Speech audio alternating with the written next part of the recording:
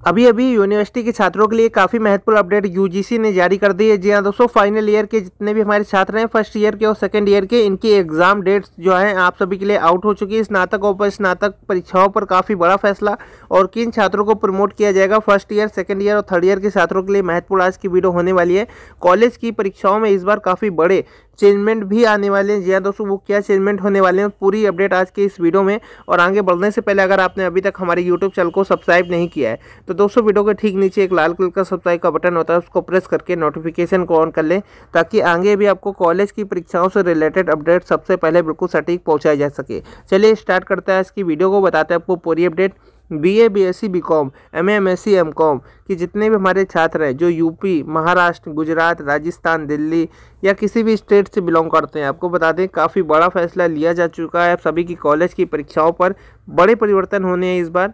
तो जैसा कि आपको पता है, आप सभी तक सबसे पहले बिल्कुल सटीक अपडेट पहुंचाई जाती है। जितने भी हमारे छात्र हैं जो गाइडलाइन का अपडेट कर रहे थे, आपको बता दें गाइडलाइन आ चुकी हैं। 2021-22 के लिए जितने भी हमारे एग्ज़ाम्स होने B A B S C B com के M M S C M com के, आप सभी के एग्ज़ाम्स कब से स्टार्ट किए जाएँगे और आप सभी को पूरी अपडेट आज की इस वीडियो हम लोग बताने वाले हैं। आपको पता होगा, काफ़ी सारे छात्रों के कमेंट भी आ चुके थे कि, सर एग्ज़ाम्स अब फाइनल ईयर के जनवरी, फरवरी में तो होंगे नहीं। ये तो क्लियर हो गया था। आपको बता दें, हमारे जितने भी छात्र हैं जो फाइनल ईयर के एग्ज़ाम देना चाहते थे एग्ज़ाम डेट का वेट करें तो आप सभी के लिए काफ़ी महत्वपूर्ण अपडेट आ चुकी है।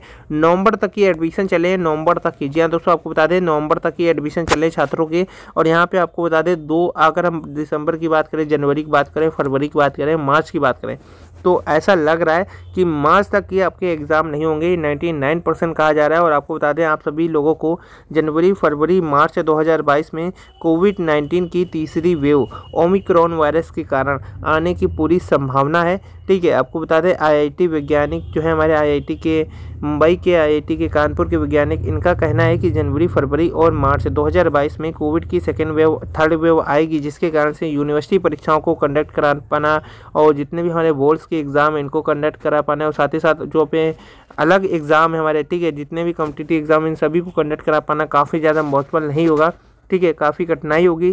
छात्रों में ये वेव आपकी थर्ड वेव काफ़ी ज़्यादा घातक होगी और आपको दें अभी तक की अगर बात करें तो काफ़ी सारे हमारे B A B S C B com के M M S M com के फ़र्स्ट ईयर के छात्र जो होंगे वो अठारह साल से नीचे होंगे और उनको अभी तक वैक्सीन भी नहीं लगी होगी। तो इसलिए यहाँ पर पूरी जो गाइडलाइन है आप सभी के स्वास्थ्य को ध्यान में रखते हुए और कोविड की थर्ड वेव को ध्यान में रखते हुए बनाई गई है। छात्रों को प्रमोट भी किया जा सकता है। इस बार आपको पता होगा मिड टर्म के एग्ज़ाम इसीलिए कंडक्ट कराए गए कि अगर अगर 2020 वाली या 2021 वाली स्थिति बनी।